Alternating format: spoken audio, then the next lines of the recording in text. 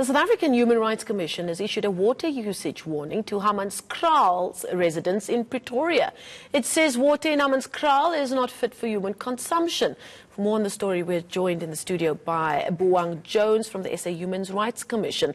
Um, Buang, thank you so much uh, for coming in. Now, um, what did you find when you started investigating the situation in Hammanskraal? Well, we started investigating this matter in July 2018 and our investigation culminated in several meetings between the Commission, the Department of Water and Sanitation, and the City of Tshwane. And the city was then asked to develop an action plan to remedy the situation. We have given the city um, uh, over a period of six months to work on remedying the situation. And in June this year, we then agreed to conduct a, a, a joint sample uh, in Hammanskraal to test um, the water quality in the area. And last week, Thursday, the Department of Water and Sanitation uh, presented us with the results, which um, state that the water is unfit for hu uh, human consumption. And as the regulator in the water sector in the country, we uh, then accepted these results, and we have therefore determined that there is a need for an urgent meeting with the City of Tshwane and the department again on, on Monday to uh, map the way forward in light of these uh, um, uh, results. But now we believe just a few months ago, the city of Tshwane declared that the water was safe. Have you spoken to the city? We, we, been interacting with the city. We've had constructive interaction with the city. Our concern is that the, the city does not seem to understand that um, the Water and Sanitation Department is the regulator. Once the regulator has pronounced, if the city is unhappy, they can uh, seek legal recourse. The city um, asked the CSIR to conduct uh, uh, this uh, analysis. And the analysis points to the fact that this water can cause cancer. The water can also affect the growth of, of babies and other secondary health effects.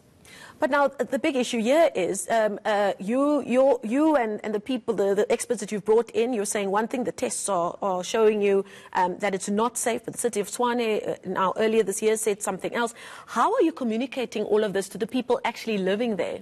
Well, we are going to convene a public meeting on the 20th of August in Hammanskraal to share with the residents of Hammanskraal the, the results of these uh, uh, samples.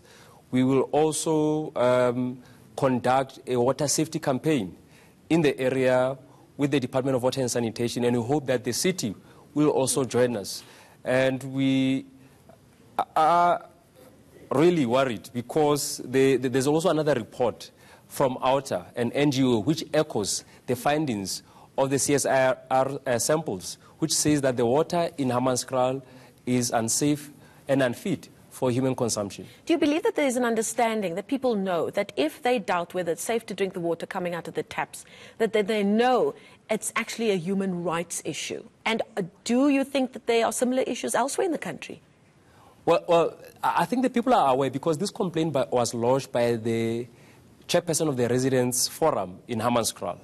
And we are hopeful that we, we, we will uh, find solutions. Of course, there are challenges uh, in other parts of the country, uh, and the water department is best placed to really reflect on some of these uh, challenges. But in the main, what we've uh, uh, uncovered during the course of our investigations is that for as long as you don't treat the source, which is the dysfunctional water, wastewater treatment works, you'll never resolve this issue.